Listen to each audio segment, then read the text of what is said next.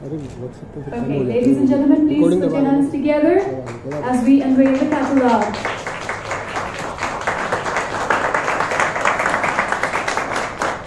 Yeah, everyone this side? Yes? Come close, come close. Yes?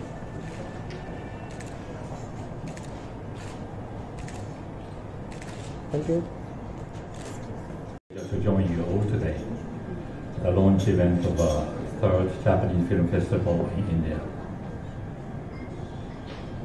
Japanese Film Festival in India started in 2017 when we celebrated the year of India-Japan Film Exchanges and held a series of Japanese cultural events across India. Since its inception, JFF has been warmly welcomed and enjoyed by increasing number of Indian people, including film lovers, Japanese culture fans, both in Delhi and Mumbai.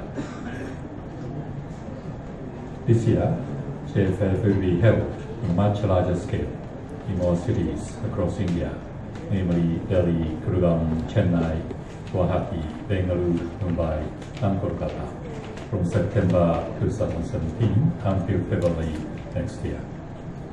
The festival will screen 25 of the most popular Japanese film from all genres, also which were released in Japan this year or in 2018. I'd like to express my heartfelt appreciation to the Japan Foundation, PVR, and all the people, both in India and Japan, who have made holding of this excellent event possible this year. Ever since I assumed charged as Ambassador of Japan to India 2015, I have been working hard to introduce various aspects of Japan to as many Indian people as possible across the country. From the films which will be shown during JFF, you'll discover what Japanese people laugh at, what they are moved by, what they are interested in, and the issues they are concerned about.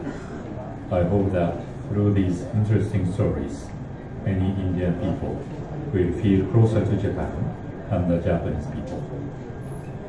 I wish JFF an even greater success this year. I am sure this festival will further consolidate the friendship between the people of our two countries. I look forward to joining all of you at the theatre on September 27 to enjoy the film show. Thank you very much.